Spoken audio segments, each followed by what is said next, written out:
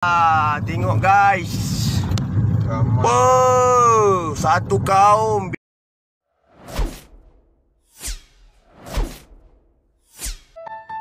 Seramai 733 pekerja Bangladesh yang diperdaya untuk bekerja di Pengerang Johor akhirnya berjaya menuntut lebih 1 juta gaji tidak dibayar daripada majikan mereka.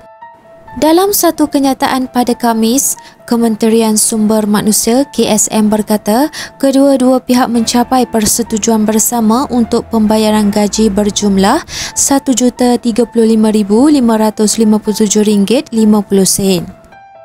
Kes ini membabitkan pekerja asing yang dibawa masuk secara sah ke negara ini tetapi tidak diberikan pekerjaan sebaik tiba di negara ini dan kemudian diabaikan. Mana-mana majikan yang didapati bersalah dalam perkara ini akan disenarai hitamkan oleh pihak berkuasa dan kota mereka untuk pekerja asing akan dibatalkan. Menurut KSM, kumpulan pekerja itu akan dipadankan dengan majikan baharu melalui proses pertukaran majikan khas yang diuruskan oleh Jabatan Buruh. Pada 16 Januari, Menteri Sumber Manusia Steven Sim berkata 751 pekerja Bangladesh di Pengerang telah terkandas dan menganggur di negara ini selepas mereka ditipu oleh majikan untuk memasuki Malaysia.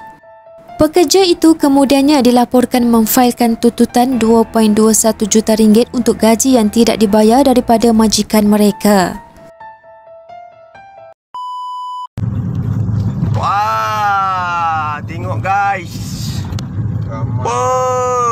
Satu kaum babe sampai. Kau tengok.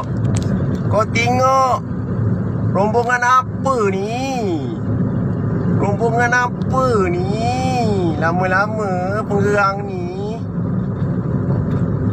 Memang kena halau lah orang kampung penggerang ni. Ha, tengok kaum dia saja nampak? Nampak? Nampak? Apa benda yang dia nak memberontakkan ni? Oi, la ilaha illallah Muhammad Rasulullah.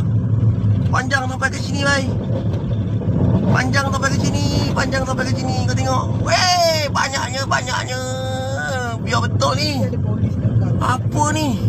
Apa bikin ni? Uh, apa bikin ni, bhai? Lu apa bikin? Lu apa bikin? Mak penuh Mak sampai ke belakang Sampai ke belakang Sampai ke belakang. Woi. Ini kampung ah.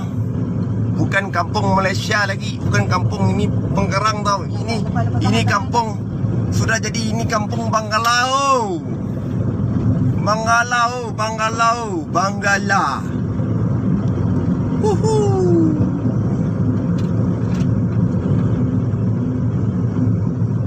Banyaknya.